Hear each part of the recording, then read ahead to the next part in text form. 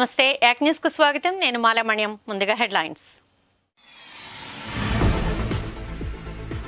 కరోనాతో ప్రజా రవాణా వ్యవస్థకు కోలుకోలేని దెబ్బ. నష్టాల ఊబిలో పీటీడీ.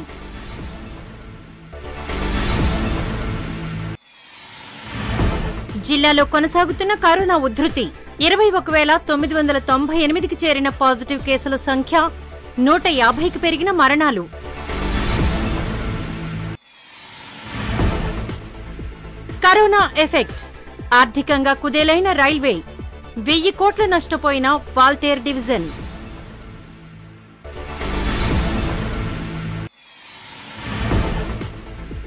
పరిశ్రమల్లో ప్రమాదాల నివారణకు జిల్లా స్థాయి కమిటీ ఆదేశించిన కలెక్టర్ వినయ్ చంద్.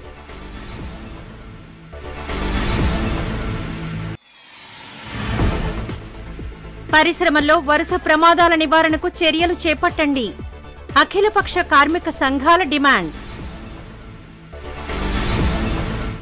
ఇక వార్తల వివరాలు చూద్దాం. కరోనా పీటీడీని కోలుకోలేని దెబ్బతీసింది ఆర్థిక ఇబ్బందుల్లో ఉన్న పీటీడీ పరిస్థితిని మరింత దిగజార్చింది. లాక్డౌన్ నిబంధనల సడలింపు తర్వాత నడుపుతున్న అడపా తడపా సర్వీసులకు ఆదరణ అంతంత మాత్రమే. దీంతో కనీసం డీజిల్ ఖర్చు కూడా రాని పరిస్థితి నెలకొంది.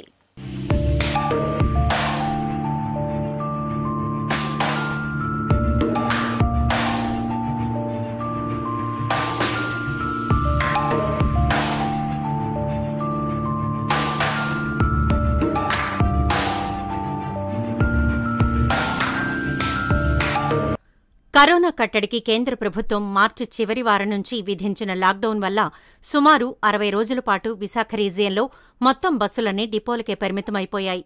మే ఇరవై ఒకటిన మూడో విడత లాక్డౌన్ సమయంలో బస్సులు నడిపేందుకు అనుమతి లభించింది. రీజియన్లో మొదటి రోజున ఎంపిక చేసిన ఇరవై రోట్లలో నూట పన్నెండు సర్వీసులు ఆపరేట్ చేశారు. భౌతిక దూరం పాటించేందుకు వీలుగా బస్సుల్లో సీటింగ్ను యాభై శాతానికి కుదించారు. మొదట్లో ప్రయాణికుల రద్దీ కొద్దిగా పెరగడంతో అవే రూట్లలో మరో పది సర్వీసులు ఆపరేట్ చేశారు. జూన్ పదో తేదీ వరకు అదే పరిస్థితి కొనసాగింది. ఆక్యుపెన్సీ రేషియో నలభై నుంచి నలభై ఆరు శాతం వరకు నమోదైంది. రోజువారీ సగటు ఆదాయం ఇరవై లక్షల వరకు వచ్చింది. ప్రయాణికుల సంఖ్య పెరగడంతో జూన్ పదకొండు నుంచి మరో ఇరవై రూట్లు పెంచారు. మొత్తం నలభై రూట్లలో రోజుకు ఎనిమిది నుంచి పది బస్సుల చొప్పున పెంచుకుంటూ ఆ నెలాఖరు నాటికి రెండు వందల యాభై బస్సులను ఆపరేట్ చేశారు. అదే సమయంలో విజయవాడ భీమవరం తిరుపతి రాజమండ్రి కాకినాడ శ్రీశైలం శ్రీకాకుళం విజయనగరం వంటి దూర ప్రాంతాలకు వెళ్ళే ప్రయాణికులు పెరగడంతో ఆయా రూట్లలో కూడా బస్సు సర్వీసులు పెంచారు.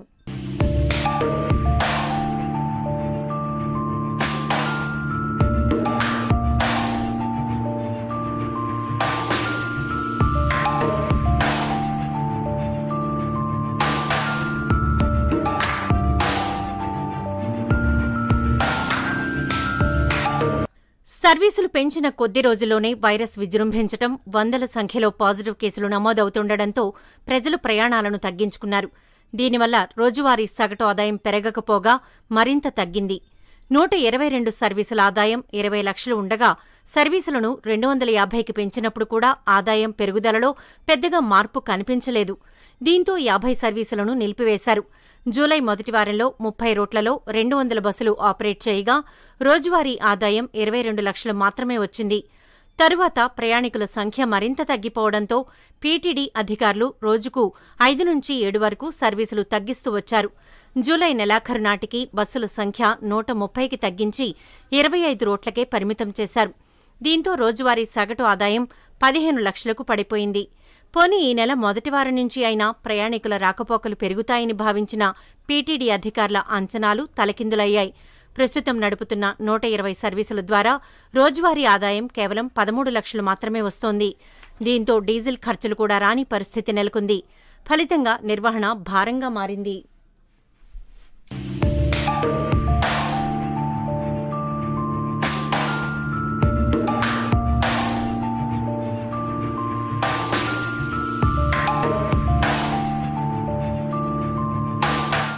జిల్లాలో కరోనా వెనక్కి తగ్గడం లేదు. మరణ మృదంగం మోగిస్తూనే ఉంది. పాజిటివ్ కేసుల నమోదులో పట్టు విడుపులు ప్రదర్శిస్తున్న మరణాల పెంపులో రాజీ పడడం లేదు. దీంతో కరోనా కేసుల తీవ్రత తగ్గుతుందన్న ఊరట కన్నా మరణాల భయం వెంటాడుతూనే ఉంది. తాజాగా ఇరవై నాలుగు గంటల వ్యవధిలో ఏడు వందల తొంభై ఏడు కేసులు నమోదయ్యాయి. దీంతో మొత్తం పాజిటివ్ కేసుల సంఖ్య ఇరవై ఒక వేల తొమ్మిది వందల తొంభై ఎనిమిదికి చేరింది. చికిత్స పొందుతూ మరో ఆరుగురు మృతి చెందారు. దీంతో కోవిడ్ మృతుల సంఖ్య నూట యాభైకు పెరిగింది. జిల్లాలో కరోనా ఉధృతి కొనసాగుతోంది. కొద్ది రోజులుగా ఎనిమిది వందల నుంచి వెయ్యికి మధ్య కేసులు నమోదవుతూ వస్తున్నాయి. దీంతో వైరస్ దాటికి జిల్లావాసులు గజగజ వణికిపోయారు. కాగా బుధవారం ఇరవై నాలుగు గంటల వ్యవధిలో ఏడు వందల తొంభై ఏడు కేసులు నమోదవడంతో మొత్తం కేసుల సంఖ్య ఇరవై ఒక్క వేల తొమ్మిది వందల తొంభై ఎనిమిదికి చేరుకుంది. చికిత్స పొందుతూ ఆరుగురు మృతి చెందారు. మృతుల సంఖ్య నూట యాభైకు చేరుకుంది. కేసులతో పాటు మృతుల సంఖ్య పెరుగుతుండటంతో ప్రజల్లో భయం రెట్టింపైంది. ఆరు వందల రెండు వందల అరవై ఏడు మంది వివిధ ఆసుపత్రుల్లో చికిత్స పొందుతున్నారు. పదిహేను వేల ఐదు వందల ఎనభై ఒక్క మంది డిశ్చార్జ్ అయ్యారు. కేసుల నమోదు మృతుల సంఖ్య ఆగకపోవడంతో జిల్లాలో ఆందోళన నెలకొంది. స్వీయ రక్షణ పాటించడం ద్వారానే వైరస్ జోరుకు అడ్డుకట్టపడుతుంది కరోనా దెబ్బకు దేశంలోనే అతిపెద్ద ఆర్థిక వ్యవస్థ అయిన రైల్వే తీవ్రంగా నష్టపోయింది. వైరస్ వెలుగు చూసింది మొదలు తొలి నాలుగు నెలల్లోనే ఒక్క వాల్తేర్ డివిజన్కే వెయ్యి కోట్ల నష్టం వాటిల్లింది. కరోనా అదుపులోకి వచ్చాకే పూర్తి స్థాయిలో రైళ్ళు నడపాలని డివిజన్ అధికారులు నిర్ణయించారు. కరోనా కారణంగా రైల్వే వాల్తేరు డివిజన్ ఆర్థికంగా తీవ్రంగా నష్టపోయింది. వైరస్ వెలుగు చూసిన తొలి నాలుగు నెలల్లో వెయ్యి కోట్ల వరకు నష్టం వాటిల్లింది. దీంతో విశాఖ కేంద్రంగా ఏర్పాటైన కొత్త జోన్ పనులు ఎక్కడికక్కడ నిలిచిపోయాయి. పాసింజర్ రైళ్ళు నడపకపోవడంతో ఈ పరిస్థితి ఏర్పడింది. మొత్తం ఆదాయం గత ఏడాది నాలుగు నెలలకు రెండు వేల తొమ్మిది వందల నాలుగు కోట్లు కాగా ఈ ఏడాది తొలి నాలుగు నెలలకు ఒక వెయ్యి ఎనిమిది వందల తొంభై రెండు పాయింట్ ఆరు ఆరు కోట్లు వచ్చింది. అంటే వెయ్యి కోట్లకు పైగా నష్టం వాటిల్లింది. ఇక సరుకు రవాణా విషయానికొస్తే గత ఏడాది అంతా అరవై ఆరు పాయింట్ ఎనిమిది రెండు మిలియన్ టన్నుల సరుకు రవాణా చేయగా తొలి నాలుగు నెలల్లో ఇరవై ఒకటి పాయింట్ ఎనిమిది నాలుగు మిలియన్ టన్నులు రవాణా అయింది. కాగా ఈ ఏడాది తొలి నాలుగు నెలలకు కేవలం పదహారు పాయింట్ ఒకటి ఏడు మెట్రిక్ టన్నులే రవాణా జరిగింది. ఇలాంటి పరిస్థితుల్లో రైల్వే ఆదాయం మరీ పడిపోకుండా విశాఖపట్నం గంగవరం పోర్టులు స్టీల్ ప్లాంటులే ఆదుకున్నాయి. వీటికి అవసరమైన బొగ్గు ఐరన్ ఓర్ మినరల్స్ ఆయిల్ వంటి వాటిని యాభై రెండు ర్యాక్ల ద్వారా పదకొండు పాయింట్ ఎనిమిది ఒకటి మిలియన్ టన్నులు వాల్తేరు రైల్వే రవాణా చేసింది. రోజుకు సగటున ముప్పై మూడు పాయింట్ రెండు ఒకటి ర్యాకులను అన్లోడింగ్ చేసింది. కేకే లైన్ ద్వారా ఎన్ఎండిసి ఐరన్ ఓర్ను తీసుకువచ్చింది. విశాఖపట్నం పోర్టుకు మూడు వందల తొంభై ఏడు రైళ్ళ ద్వారా పదిహేను పాయింట్ రెండు తొమ్మిది లక్షల టన్నుల సరుకును గంగవరం పోర్టుకు రెండు వందల ఏడు రైళ్ళ ద్వారా ఎనిమిది పాయింట్ సున్నా ఎనిమిది లక్షల టన్నుల సరుకును రవాణా చేసింది. కరోనా పూర్తిగా నియంత్రణలోకి వచ్చిన తరువాతే పూర్తి స్థాయిలో రైళ్ళు నడపాలని వాల్తేరు రైల్వే డివిజన్ అధికారులు నిర్ణయించారు. పరిశ్రమల్లో ప్రమాదాల నివారణకు కలెక్టర్ వినయ్ చంద్ జిల్లా స్థాయి కమిటీని ఏర్పాటు చేశారు. పరిశ్రమల భద్రతపై ఈ కమిటీ ఎప్పటికప్పుడు ప్రభుత్వానికి నివేదికలు అందజేస్తుందని కలెక్టర్ వినయ్ చంద్ తెలిపారు.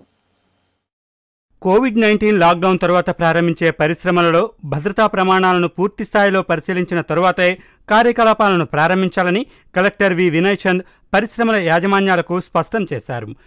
ఎప్పటికప్పుడు మాక్ డ్రిల్ నిర్వహించాలని ముందస్తు నివారణ చర్యలు చేపట్టాలని సూచించారు. ఈ అంశాల పర్యవేక్షణకు గాను జిల్లా స్థాయి కమిటీని ఏర్పాటు చేశారు.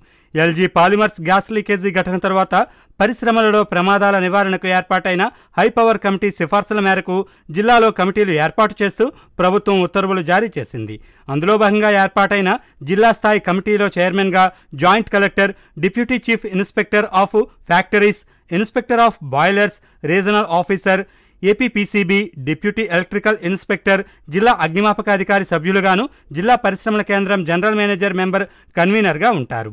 ఆయా పరిశ్రమలు తాము పాటించవలసిన చట్టాలు నియమాల ప్రకారం నిర్ణీత ప్రోఫార్మాలో ఈ కమిటీ నివేదికను సమర్పించాల్సి ఉంటుంది. ఈ కమిటీ ప్రత్యేక డ్రైవ్ నిర్వహించి పరిశ్రమలలో భద్రత పర్యావరణ ప్రమాణాలను పరిశీలిస్తుంది. మొదటి విడతగా కెమికల్ నిల్వ తయారీ పేలుడు పదార్థాల తయారీ పెట్రోలియం పరిశ్రమలు రెడ్ కేటగిరీ పరిశ్రమలలో తనిఖీలు నిర్వహించి వాటి భద్రతపై ఈ కమిటీ ఎప్పటికప్పుడు ప్రభుత్వానికి నివేదికలు అందజేస్తుందని కలెక్టర్ వినయ్ చంద్ తెలిపారు. పరిశ్రమల్లో జరుగుతున్న ప్రమాదాలను నివారించే విధంగా ప్రభుత్వం చర్యలు తీసుకోవాలని డిమాండ్ చేస్తూ వామపక్ష పార్టీల ఆధ్వర్యంలో జీవీఎంసీ గాంధీ విగ్రహం వద్ద నిరసన కార్యక్రమం చేపట్టారు. డప్పు వాయిస్తూ పాట రూపంలో కార్మికుల కష్టాన్ని వివరించారు. టీఎన్టీయూసీ ప్రతినిధి రామచంద్రరావు సిఐటియు ప్రతినిధి కుమార్లు మాట్లాడారు. యాజమాన్యాల నిర్లక్ష్యం మానవ తప్పిదాల వలన మాత్రమే విశాఖలో వరుస ప్రమాదాలు జరుగుతున్నాయన్నారు. మృత్యువాత పడిన కుటుంబాలకు అన్యాయం జరుగుతోందన్నారు. ప్రభుత్వం యాజమాన్యాలకు కొమ్ము కాయడం దారుణమన్నారు. మృతుల కుటుంబాలలో ఒకరికి ఖచ్చితంగా ఉద్యోగం ఇవ్వాలని డిమాండ్ చేశారు. ఈ కార్యక్రమంలో ఏఐటియుసి ఐఎఫ్టియు సిపిఎం తదితర వామపక్ష పార్టీల నేతలు పాల్గొన్నారు. కార్మికుల ప్రాణాలకి రక్షణ కల్పించాలి. కార్మిక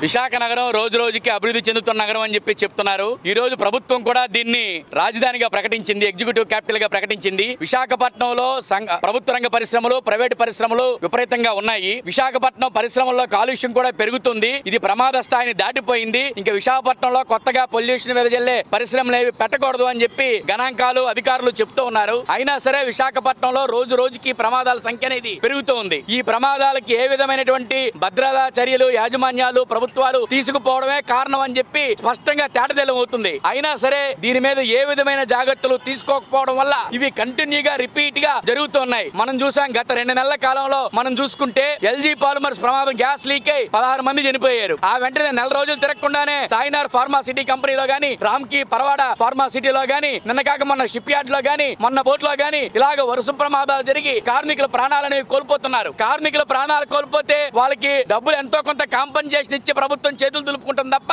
ప్రమాదం జరగకుండా ఏ విధమైన చర్యలు కూడా కట్టుదిట్టంగా చేపట్టట్లేదు. ఈ ప్రమాదాల కారణం యాజమాన్యాలు ప్రభుత్వం నిర్లక్ష్యం తప్ప మరొకటి కాదు అని స్పష్టంగా కనబడుతుంది.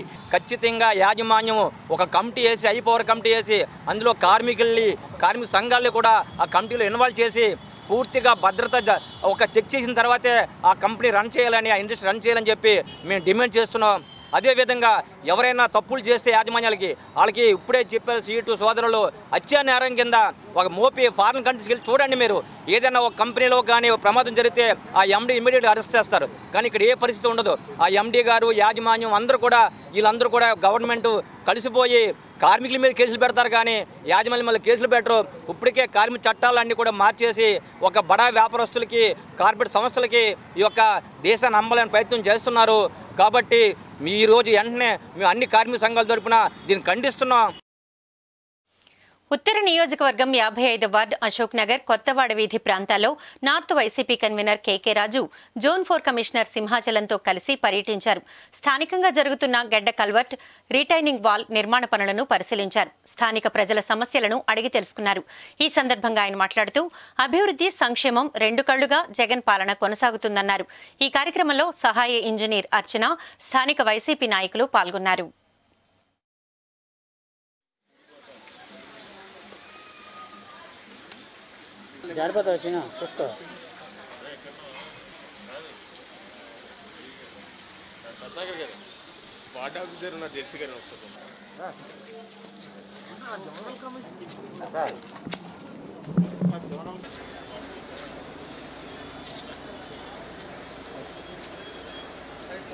వైఎస్ఆర్ కాంగ్రెస్ పార్టీ ప్రభుత్వం ఏర్పాటైన తర్వాత గౌరవ ముఖ్యమంత్రి వైఎస్ జగన్మోహన్ రెడ్డి గారి ఆదేశాల మేరకు అన్ని ప్రాంతాల్లోని కూడా గత ప్రభుత్వ హయాంలో ఏదైతే నిర్లక్ష్యం చేయబడి పెండింగ్లో ఉన్నాయో వర్క్స్ని అన్నింటినీ కూడా పూర్తి చేయమని ఆదేశించడం జరిగింది. అందులో భాగంగా విశాఖపట్నం మున్సిపల్ కార్పొరేషన్ ఏరియాలో ఉత్తర నియోజకవర్గంలో ఈ కొండవాళ్ళ ప్రాంతాల్లో ఉన్న దీర్ఘకాలికంగా ఉన్న సమస్య సమస్యల్ని ముఖ్యంగా గడ్డల ఆధునీకరణ ఈ కాలనీల మధ్యలో ఉన్న గడ్డల్ని రిటైనింగ్ వాల్స్ ద్వారా పటిష్టంపరిచి ప్రజలకి భద్రత కల్పించడంతో పాటు దాని ద్వారా ముఖ్యంగా పారిశుధ్యాన్ని కూడా పారిశుధ్యాన్ని కూడా మెరుగుపరిచినట్టు అవుతుంది. గడ్డలు ఆధీకరించడం ద్వారా ఎందుకంటే గడ్డలో పూడిక పూడిపోవటం ఈ ప్రమాదాలు జరగడంతో పాటు పారిశుధ్యానికి ఇబ్బంది కలగటం వల్ల ప్రజలు రోగాలను బారిన పడే అవకాశం ఉంది కాబట్టి ఈ గడ్డలను ఆధునీకరించడం ద్వారా ప్రజల ప్రజారోగ్యాన్ని కాపాడటంతో పాటు ప్రజలకు భద్రత కల్పించినట్టు అవుతుందని ఈ జీవీఎంసీ లిమిట్స్లో ఉన్న అన్ని గడ్డల్ని కూడా ఆధునీకరించడానికి ప్రభుత్వం ఇప్పటికే నిధులు నిధులు విడుదల చేయడం జరిగింది. అందులో భాగంగానే విశాఖ ఉత్తర నియోజకవర్గంలో పాత ముప్పై ఆరో వార్డు కొత్తగా ఏర్పడిన యాభై ఐదో వార్డులో ఉన్నటువంటి గడ్డలు పనులు జరుగుతూ ఉన్నాయి. రిటైనింగ్ వాల్స్ కల్వర్ట్స్ జరుగుతున్నాయి. వాటిని జోనల్ కమిషనర్ అధికారులతో కలిసి పరిశీలించడం జరిగింది. మా యొక్క ప్రభుత్వం యొక్క లక్ష్యం అవినీతి రహితంగా కాంట్రాక్టర్లకి వర్కులు కేటాయించే సమయంలో కూడా ముఖ్యమంత్రి గారు ముందే చెప్పడం జరిగింది. చిన్న వర్క్ నుంచి పెద్ద వర్క్ వరకు కూడా ఒక ప్రామాణికాలన్నింటినీ కూడా తీసుకుని కాంట్రాక్టర్ల వర్కులు కేటాయించడం అదేవిధంగా కేటాయించిన పనులు జరుగుతున్నప్పుడు కూడా పర్యవేక్షించి వాటిని ఒక పకడ్బందీగా ఎక్కడా కూడా క్వాలిటీలో రాజీ పడకుండా నిర్మించడం జరుగుతుంది. భరత తెలుగు వెలుగు ఆడియో ఆల్బమ్ రిలీజ్ కార్యక్రమం డాబా గార్డెన్స్ విజేఎఫ్ ప్రెస్ క్లబ్లో జరిగింది. దేశ విదేశాల్లో ఎన్నో వినోద కార్యక్రమాలు నిర్వహించిన సుప్రీం ఆర్కెస్ట్రా అధినేత సుప్రీం శేఖర్ ఆధ్వర్యంలో ఈ కార్యక్రమం జరిగింది. విజయఫ్ కార్యదర్శి ఎస్ దుర్గారావు నటుడు అంబటి శ్రీను తదితరులు ఆడియో సీడీలను రిలీజ్ చేశారు. ఈ సందర్భంగా దుర్గారావు మాట్లాడుతూ తెలుగు భాష గొప్పతనాన్ని దేశ విదేశాలలో తన సంగీత గానాలతో వ్యాపింపజేసిన సుప్రీం శేఖర్ ఆదర్శప్రాయుడని కొనియాడారు.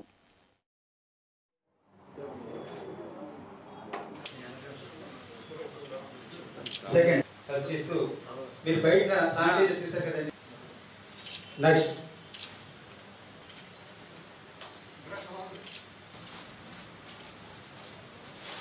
ఒక్కసారి బాగుందంటే నేను సంతోషిస్తాను. ఎందుకంటే ఈ పాటలు ఎటువంటి స్వార్థం లేకుండా మన తెలుగు తల్లిని అందరూ గుర్తు చేసుకోవాలి. ఇప్పుడు ఈ మధ్యకాలంలో తెలుగు మాట్లాడితే కొట్టేస్తాం అనే పరిస్థితులు వచ్చాయి. కాకపోతే దేశ విదేశాల్లో నేను దాదాపు ఒక పదమూడు దేశాలకు వెళ్ళి మన తెలుగు అసోసియేషన్ సంఘాలతో ప్రోగ్రామ్స్ చేయడం జరిగింది.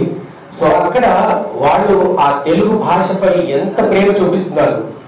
జనరల్గా మనం ఇక్కడ ఏదైనా ప్రోగ్రామ్ చేస్తే ముందుగా విఘ్నేశ్వరుడి పూజతో స్టార్ట్ చేస్తాం. కాకపోతే విదేశాల్లో అక్కడే పుట్టి పెరిగినటువంటి తెలుగు వాళ్ళు ముందుగా కళామ తల్లి ఆ తెలుగు తల్లికి ముందు వదనాలు చేసి ఆ తర్వాత వాళ్ళు మిగతా కార్యక్రమాలు చేస్తారు. సో ఇలాంటివన్నీ అక్కడ చూడడం జరిగింది. అందుకని ఆ తెలుగు తల్లికి మనం ఏమి అంటే ఎలా రుణం తీసుకోవాలి? ఒక గాయకుడుగా మీ అందరికీ సుపరిచితుండే సుప్రీం శేఖర్ గారి ఆర్కెస్ట్రా ఉంది సుప్రీం ఆర్కెస్ట్రా. సో దాంట్లో కొన్ని మెలుగులు నేర్చుకొని జనాలకి కొంచెం ఆహ్లాదంగా ఉండాలి అందరూ కూడా వినాలి అనేసి ఈ పాటని కె. విశ్వనాథ్ గారి దగ్గరికి తీసుకువెళ్ళడం జరిగింది. సో అక్కడికి వెళ్ళిన తర్వాత మరి ఈ కరోనా మహమ్మారి సమయంలో మరి మనం కలవడానికి వీలు లేకపోయినా తొంభై వసంతాలు ఆయన పూర్తి చేసుకున్నటువంటి మహానుభావుడు ఆ కళామ తల్లి ముద్దు బిడ్డ ఆయన ఈ పాటను విని నన్ను ఆశీర్వదించి చాలా చక్కటి పాట ఇది చాలా అద్భుతంగా ముందుకు వెళ్తుంది అందరికని.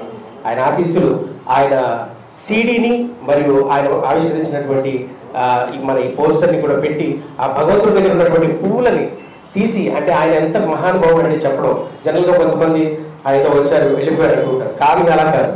వారు ఆ పాట మీద ఆ తెలుగు తల్లి మీద ఉన్నటువంటి ప్రేమతో ఆ సీడీ పైన ఆ- భగవంతుడి దగ్గర ఉన్నటువంటి పువ్వులను తీసి దానికి ఇచ్చి నాకు ఆశీస్సులు తెలియజేశారు. నాకు ఈ జన్మకి చాలా సంతోషం. ఒక గాయకుడుగా ఇంతకంటే కావాల్సింది సార్.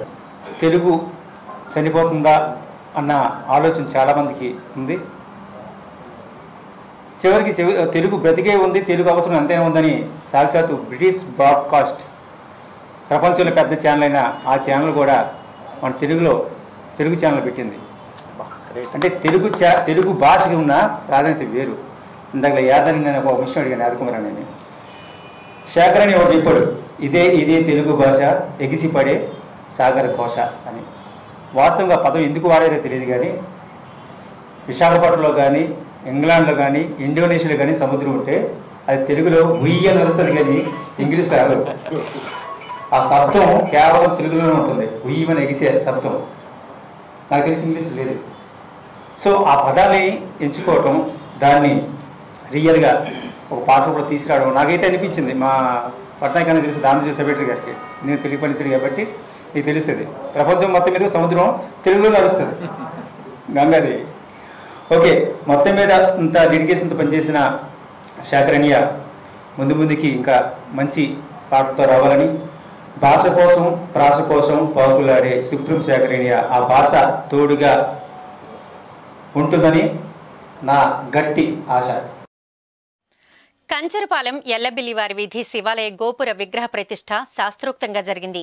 విగ్రహ దాతలు ఆదిలక్ష్మి చారిటబుల్ ట్రస్ట్ చైర్మన్ ఫౌండర్లు అప్పారావు ఆదిలక్ష్మి దంపతుల సమక్షంలో విగ్రహాల ప్రతిష్ఠ ఘనంగా జరిగింది. శివాలయంలో విగ్రహాలను సమకూర్చే భాగ్యం కలగడం తమ అదృష్టంగా భావిస్తున్నామని అప్పారావు ఆదిలక్ష్మి దంపతులు పేర్కొన్నారు. ఈ కార్యక్రమంలో స్థానిక పెద్దలు ఆలయ కమిటీ సభ్యులు అర్చకులు పాల్గొన్నారు.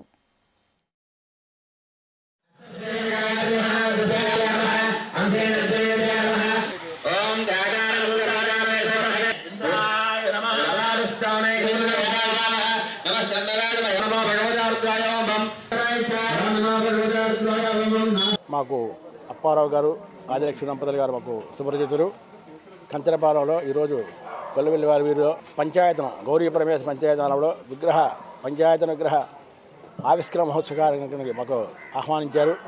వాళ్ళిద్దరు దంపతుల యొక్క ఆధ్వర్యంలో ఈ యొక్క విగ్రహావిష్కరణ మహోత్సవం పన్నెండు గంటలకి పదకొండు గంటల యాభై తొమ్మిది గంటలకి ఈ యొక్క కార్యక్రమం జరుగుతుంది.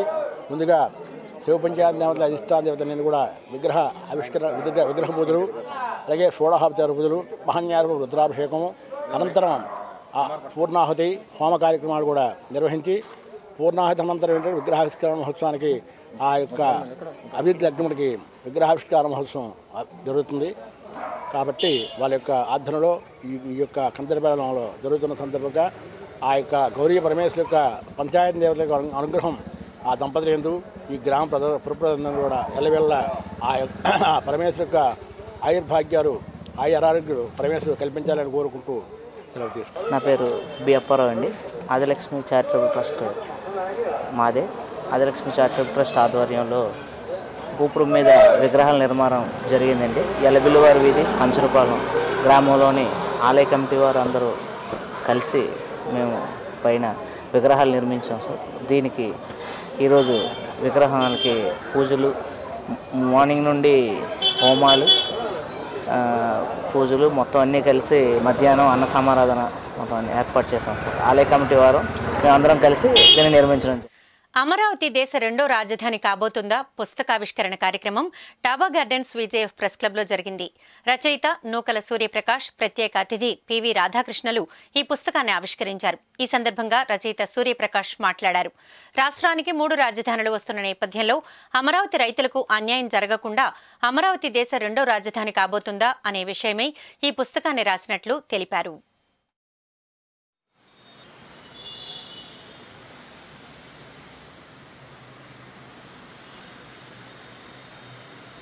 మన రాష్ట్రం ఎదుర్కొంటున్నటువంటి ఒక కొత్త రకమైనటువంటి సమస్య ఏమిటంటే రాజధాని ప్రాంతం తరలింపు ఒక రాజధాని అంశము మూడు రాజధానులు రైతులు భూసేకరణ ఇలాగ అనేక క్లిష్ట సమస్యలతో ముడిపడినటువంటి రాజధాని అంశం మీద ఒక వినూత్నమైనటువంటి పరిష్కారాన్ని సూచించాలనేటువంటి ఉద్దేశంతో ఉద్భవించిన ఆలోచన నుంచి పుట్టుకొచ్చిందే అమరావతి ఆంధ్రప్రదేశ్ రాష్ట్ర రాజధానిగా మొదలై భారతదేశానికి రెండో రాజధాని కాబోతుందా అనేటువంటి కొత్త ఆలోచనని ప్రజలకు ప్రభుత్వాలకు రాజకీయ పార్టీలకు అందివ్వాలనేటువంటి ఉద్దేశంతో ఈ పుస్తకాన్ని రిలీజ్ చేయడం జరిగింది. ఈ పుస్తకాన్ని పాత్రికేయ మిత్రుల సమక్షంలో ఇనాగరేట్ చేయడంలో ఉద్దేశం ఏంటంటే ఏ సమస్యనైనా సరే అటు ప్రజలకు ఇటు ప్రభుత్వానికి తెలియచేసేటువంటి కళ్ళు తెరిపించేటటువంటి వ్యవస్థ ఏదైనా ఉందంటే అది పాత్రికేయులు మాత్రమే చేయగలరు. కాబట్టి ఈ మీడియా అంతా కూడా ఈ సమస్య మీద సరైనటువంటి చర్చని పెట్టినట్లయితే రాష్ట్రానికి దేశానికి ఉపయోగపడేటువంటి చక్కని పరిష్కారం అమరావతి విషయంలో కలుగుతుందనేటువంటి ఉద్దేశంతో మీ అందరి ముందుకు వచ్చాం. ఈరోజు ఆ పుస్తకాన్ని రిలీజ్ చేయడం జరిగింది. దీనిలో చర్చించినటువంటి అంశాలన్నీ కూడా అవి నా వ్యక్తిగతమైనటువంటి ఆలోచనలే కాదు ప్రజలందరిలోనూ ఉండేటువంటి ఆలోచనల్ని నేను పుస్తక రూపం చేయడం జరిగింది. ఇది వ్యక్తిగత దోషణలు అంతకన్నా కాదు నేను ఏ రాజకీయ పార్టీనికి కానీ ఏ ఆలోచనకి కానీ అనుకూలము కాదు వ్యతిరేకము కాదు. కానీ జరగవలసింది ఏంటంటే విస్తృతమైనటువంటి చర్చ జరిగి అందరికీ ఆమోదయోగ్యమైనటువంటి పరిష్కారం జరగాలి.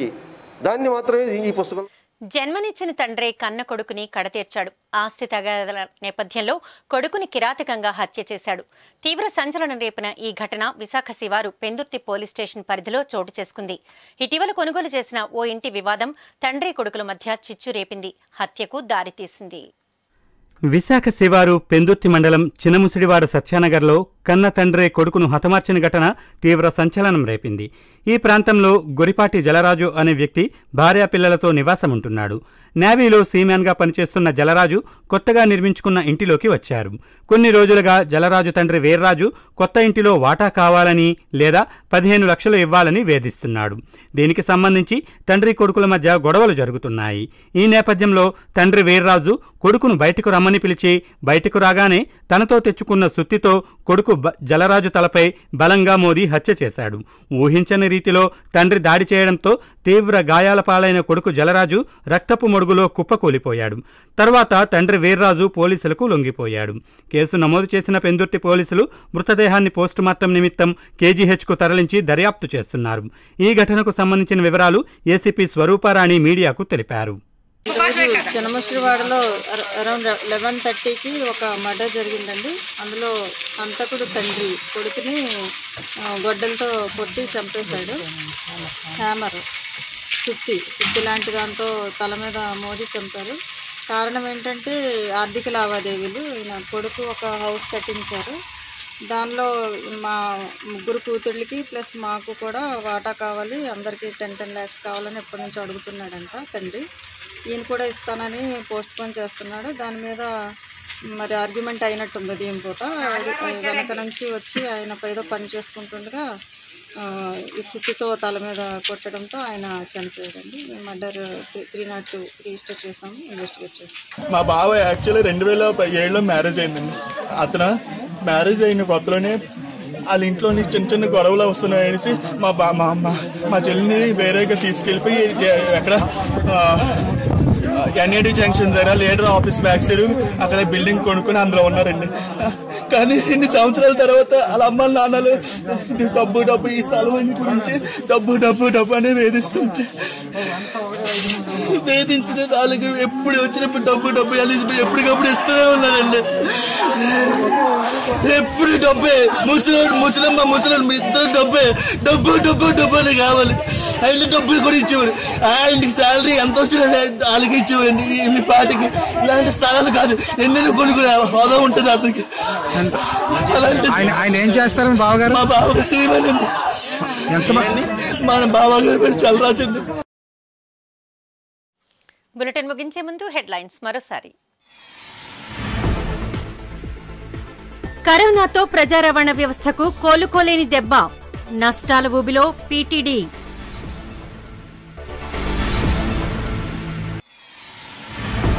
జిల్లాలో కొనసాగుతున్న కరోనా ఉధృతి ఇరవై ఒక వేల తొమ్మిది వందల తొంభై ఎనిమిదికి చేరిన పాజిటివ్ కేసుల సంఖ్య నూట యాభైకి పెరిగిన మరణాలు.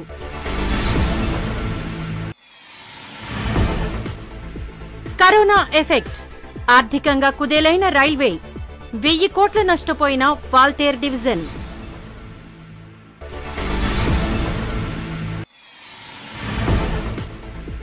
పరిశ్రమల్లో ప్రమాదాల నివారణకు జిల్లా స్థాయి కమిటీ ఆదేశించిన కలెక్టర్ వినయ్ చంద్.